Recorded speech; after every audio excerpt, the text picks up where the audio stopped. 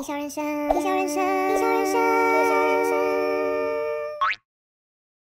嗨呀，我是 Kiki。这两周影视圈最大的消息莫过于 Disney Plus 终于正式登台啦。最近有 LINE 群组都在问说，哎，有人要加加 Disney Plus 吗？差两个，一个月七百，有人要加吗？那我这一次在第一家十二号正式登台之后，因为我姐刚好有买账号，我就用了几天，然后有在 Instagram 上收集很多粉丝的意见，整理出几个 Disney Plus 的优点和缺点，以及有哪些方案怎么买最划算。那我先说这一集没有任何的赞助商，Disney Plus 和其他电信也没有找我夜配，我本来就想要做一集 Disney Plus 的真心话，所以在我开始分享之前，还是要麻烦大家先订我的频道，还有开小铃铛，这样就不会错过更多精彩影片喽。其实大家想要订阅 Disney Plus 最大的诱因就是它有六大品牌嘛，包括迪士尼、漫威、皮克斯、星际大战、国家地理和福斯，他们有超过一千两百部电影，还有一万六千集以上的影集。那首先，漫威迷该会疯掉，因为不管是漫威的动画还是真人电影，突然之间一次拥有的感觉超爽，而且连之前很红的上汽，还有他们的人气影集《汪达与幻视》，观众通通都可以看得到。那因为我知道有很多人讲低价漫威作品，所以我今天想要讲一些不是漫威作品，但我依旧被他们吸引，并且想要订阅的片单。首先，迪士尼的部分，当然就是我的童年呐、什么《冰雪奇缘》那个太年轻了，我小时候都在看《孟汉娜》《查克与寇蒂》《麻辣女孩》，就那个 Call me, beat me if you wanna reach me，对，就是整个回忆杀，你知道吗？那皮克斯也一样，就是不管是短片还是长片电影，通通都可以看得到。那最近最吸引我的长片电影是《卢卡的夏天》，我打算这个周末去台中看。那另外国家地理的部分，我觉得有很多人一定没想到，国家地理不只有动物、大自然环境等等的节目，他们还有很多的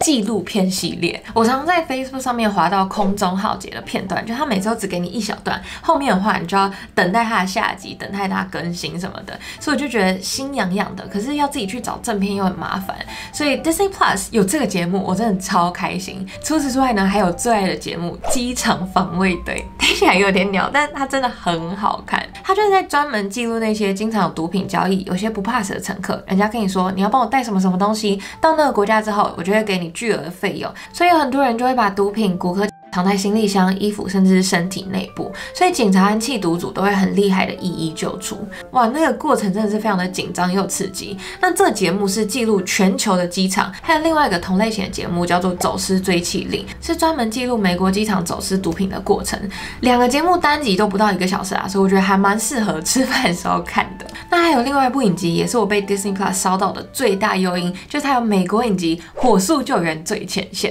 因为在美国，如果你打一一九最先接听电话的是调度员，不是消防队，所以《火速救援最前线》是以警察、消防员和调度员的故事为主，描述他们是怎么在高压环境中救出伤患，包括飞机失事、大地震和海啸等等灾害，也会探讨很多这些职业的职灾和心理创伤。简单来说，就是《火神眼泪》超级加强版啦！我超爱这部影集，大家有机会一定要去看看。但低家还是有一些比较可惜的部分，如果你是音乐剧迷，应该会很失望，说好的《Hamilton》居然没有上架，只有演员的采访影片。那我知道有些观众可能很疑惑，为什么有很多人说没有这一部很可惜？超立方也讲，我也讲，Hamilton 到底是红在哪里？来，身为资深的音乐剧迷，我要解释一下，Hamilton 是近年来在音乐剧圈无人不知、无人不晓的作品。用 rap 唱音乐剧，讲述美国历史，歌又好听，票房又超级卖座，只要百老汇一开卖，Hamilton 就是秒杀。你会不会很好奇这部作品到底厉害在哪里？不能出国，还是想要有机会在线上看到啊？所以才有这么多人都很期待 Hamilton 可以在 Disney Plus 播出。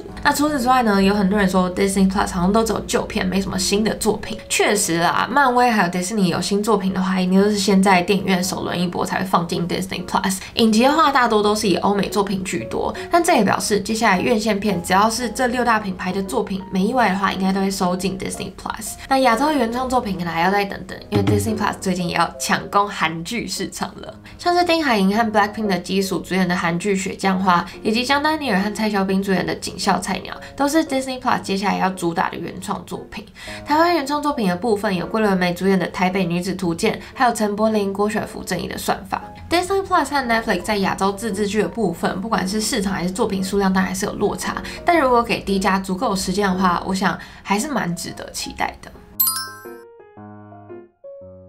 接下来就是比较现实的部分，Disney Plus 的使用界面好用吗？有哪些优点跟缺点呢？首先，我现在讲一下它的缺点好了。我觉得 Disney Plus 在看影片的时候比较不方便的地方有四点。第一点就是不能调整倍速，比如说有些剧情节奏太慢了，不能加速，观众就会觉得很阿杂。那第二点就是自动播放功能不完全。为什么我说不完全呢？因为我在 Instagram 上其实有问大家，就是 Disney Plus 你们有什么样的心得感想？有很多人跟我说，他们没有自动播放放功能，或者是要等到片尾工作人员名单全部播完之后我才会跳出来。那我自己呢，只有部分影集是等到片尾工作人员名单结束之后才有跳出那个画面，但是大部分影片都是有正常播放，在对的时间点跳出来那个自动播放功能。所以我不太确定这是不是 App 的个别 bug。那这一点呢，可能要等他们的 App 更新之后才有办法解决。那第三点呢，就是荧幕没有办法直接调整亮度。有用 Netflix 的用户就知道，你只要上下滑就可以调整亮度。那你躲在被窝里头看影片的时候就超级方便。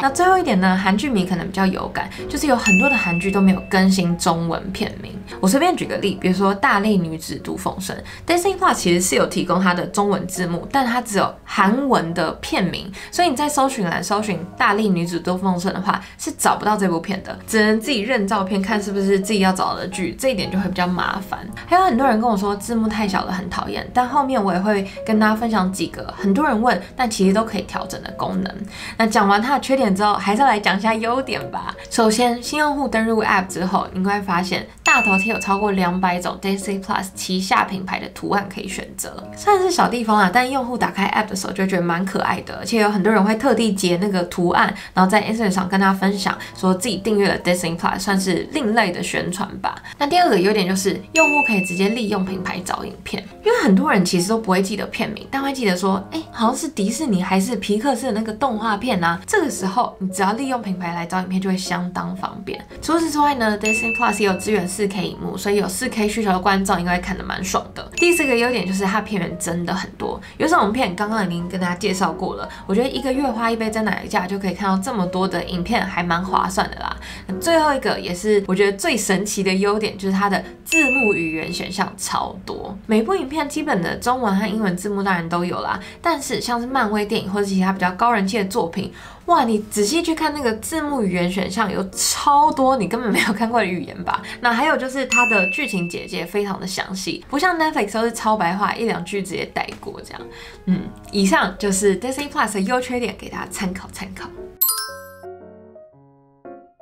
简单来说，Disney Plus 的费用分成月费型和年费型。月费的话是一个月缴两百七十块，然后十二个月下来就是三千两百四十块。但如果你直接选年费型的话，是缴两千七百九十块，等于你少了一点七个月的费用。那 Disney Plus 跟 Netflix 很不一样，是一个账号最多可以七个人共同使用，但如果你要同时观看的话，最多只能支援四个不同装置。所以如果你找四个人，包括你自己分享的话，一个人是六百九十八块，相当于台币七百块。那如果你想找七个人也可以，一个人就是三百九十九块，但你必须确保这七个人不会同时上线，所以我还是会建议大家找四个人分就好。那这边呢，我想要推荐大家另外一个买法，就是用 Shopback 买 Disney Plus。我发誓，我真的没有收到 Shopback 的业配，我也很想要收到，但是这个买法确实是最划算的。如果你在 Shopback 买月费方案的话，它会回馈你五十六块现金，加上他们的 App 任务鼓励金有五十块。如果你买年费方案的话，就可以获得四百二十块的现金回馈，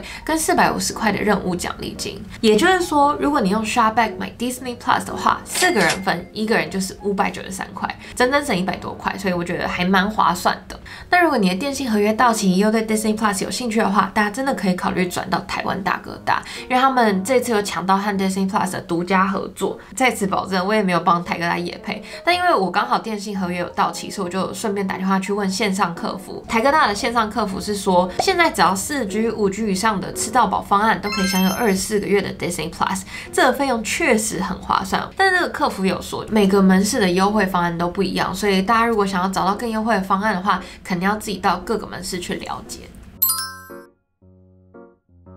首先，先来回答一下最多人的提问：怎么调整界面的语言？我说的不是字幕语言的选项哦，那个在影片的右上角就有了。因为一开始打开 Dancing Plus 是英文界面，所以如果你要改成中文界面的话，先点选你的头贴，然后按下编辑使用者资料，再点进去你的头贴之后，你就会看到下方有一个 App Language，你再把它改成中文就好。然后第二个问题是怎么调整字幕还有字形大小？其实，在 Disney Plus 的官网都有教学啦。如果你是安卓手机的用户的话，我在下方资讯栏补上它的教学连接。那 iPhone 的观众呢？首先你先打开设定里面的辅助使用，然后选取字幕与隐藏式字幕之后，再点选样式，里面你就可以调整你要的字形大小等等。你也可以在最下面的新增样式选一个你喜欢的字形大小和颜色。那其他的界面使用其实还蛮容易就可以上。手的，所以应该不需要我多做介绍。那如果你们还有什么疑惑的话，也欢迎在下方留言给我。好，最关键的问题来了，很多人都会拿 Netflix 和 Disney Plus 做比较，但我觉得他们除了使用界面比较像之外，片源优势完全不一样。要不要买 Disney Plus，真的要看你的个人需求是什么。像我是喜欢漫威，我也喜欢国家地理，但同时我也喜欢 Netflix 的自制剧还有实境秀，所以对我来说，一个月花两杯真奶的钱就可以看到两个平台的作品，我自己是觉得蛮划算的啦。那我在整理第一家资料的时候，我不是前面有说我打电话给台科大的客服吗？就他跟我说了一个很震惊的消息，明年开始在 Disney Plus 上面有的内容，在电视台、第四台会全面下架。也就是说，以后什么漫威电影、卡通、国家地理等等，你在电视上是看不到的。我为了确认那个客服说的是真是假，还有特地去找资料，就真的有看到一则新闻说，台湾迪士尼频道在 Facebook 上宣布，二零二一年一月一号将停止在台湾营运。以后如果你想要看到这些内容，一定要订阅 Disney Plus 才看得到。对。这样有增加大家诱因吗？所以如果喜欢看电视的观众，这个资讯给大家参考参考。那另外还有两种人，我觉得很适合订阅 Disney Plus。第一就是家里有小朋友的，以后小朋友下课，你只要打开 Disney Plus，哇，他们就会坐在电视机前面看卡通，都不会吵你，就是他也开心，你也开心。然后周末的时候，全家大小还可以在客厅看个皮克斯电影。那第二种很适合的族群就是和家长长辈同住的人。为什么会这样说呢？因为 Netflix 的片源确实有很多十八禁，甚至比较裸露的。影片那 Disney Plus 的片源确实有比较多合家观赏的类型，所以你跟妈妈一起看影片就不会那么尴尬了。那整体来说，可能是因为 Netflix 用太久，使用界面还有点不习惯，也觉得有一些地方可以再改进。但目前为止，我用的还是蛮开心的，所以很推荐大家可以直接用力的定下去。好，那以上就是我对 Disney Plus 使用不到一周的心得，因为我拍片今天其实它还上架不到一周。那如果你们有任何的问题，或是有任何的 Disney Plus 心得想要跟我分享，也欢欢迎在下方留言。那如果你喜欢片的话，别忘记记得订阅频道，还有追踪我的 Instagram、Facebook 哦。我们下集见喽，拜拜。有两点忘记跟大家报告，就是 Disney Plus 上面有 Outrun，就是 Running Man 的番外篇，哈哈金钟国还有指石正主持的，觉得好像只有在 Disney Plus 看得到。那如果你们去看《冰雪奇缘》的其他配音还有字幕，因为它好像是英文原稿直译，所以就是有一些歌词啊什么的就对不上，还蛮奇妙的。这可能是 Disney Plus 之后还要再修正的部分了。